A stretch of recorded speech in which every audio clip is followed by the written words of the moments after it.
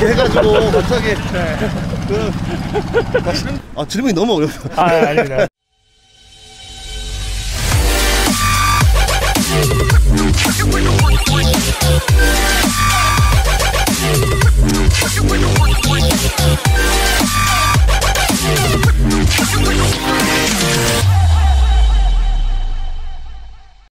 네, 감독님 오늘 일단 인터뷰 허락해 주셔서 감사드리고 네. 이번에 처음으로 실업 배구에 나오셨는데 그래도 어떤 취지로 나오셨는지 한번 설명해 주신다면 네, 그 겨울 그 리그에서 어, 많이 뛰지 못했던 그 선수들이 어, 지금 기회를 그 가질 수 있는 그런 기회이기 때문에 어, 이번 기회에 좀 좋은 경기를 했으면 좋겠고요.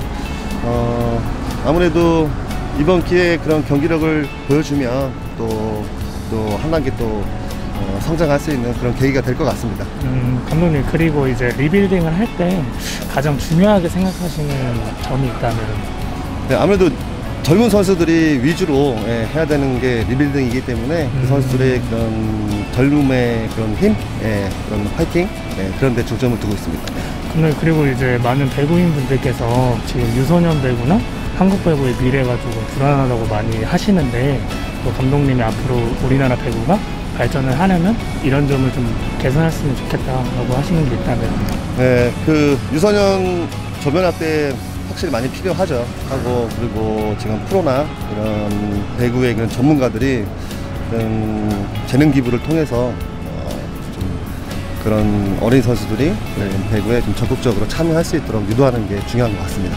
오늘 그리고 마지막으로 현대캐피탈 선수들에게 영상 편지 하나 해주신다면 어, 비록 지금 뭐 실업대에 나왔지만, 어, 또 나이가 어리지만, 그래도 프로 선수의 그런 마인드를 꼭, 어, 갖고, 어, 이겼으면 좋겠습니다.